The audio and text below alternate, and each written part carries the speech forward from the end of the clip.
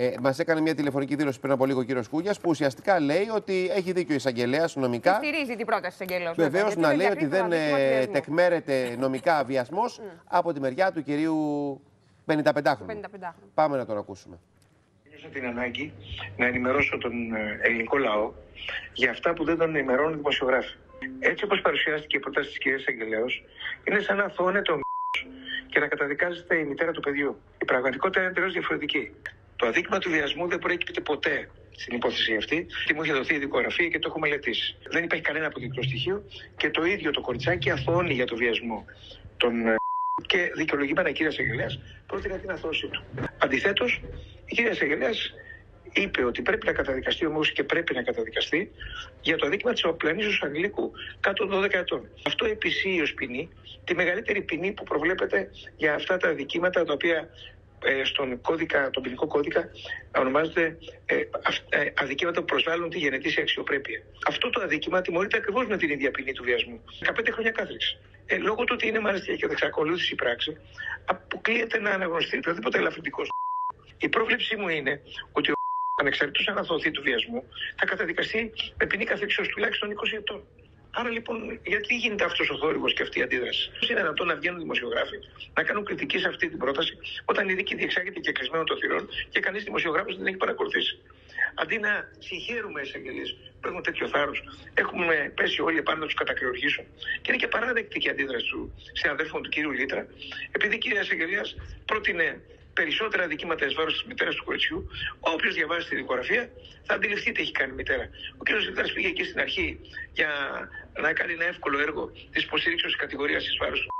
Και στην πορεία, αντί να, να, να είναι μάρτυρας υποστήριξεω, να είναι δικηγόρος υποστήριξης κατηγορίας, βρέθηκε να είναι μάρτυρας ή να είναι δικηγόρος υπερασπίσεως της πλέον επικίνδυνης γυναίκας σαν προσωπικότητα. Αυτής η οποία είχε μετατρέψει το σπίτι σε σούπερ μάρκετ ε, πανιδονισμού.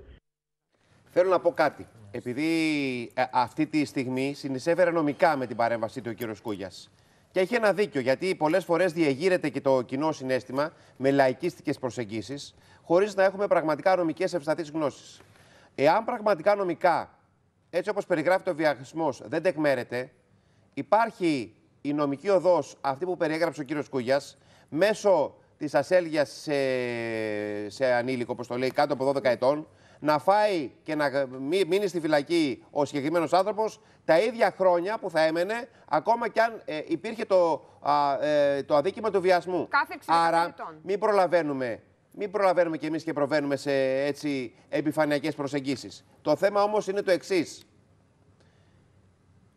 Άσχετα από τον νόμο, υπάρχουν και κάποιοι ηθικοί κανόνες ο 55χρονος ήταν ένας γείτονας που από ό,τι είπε ο πειρασμός τον οδήγησε να κάνει το αποτρόπαιο που έκανε. Είτε να βιάσει, είτε να ασελγήσει, είτε οτιδήποτε. Θα μας το πει δικαιοσύνη και θα το αποδεχθούμε.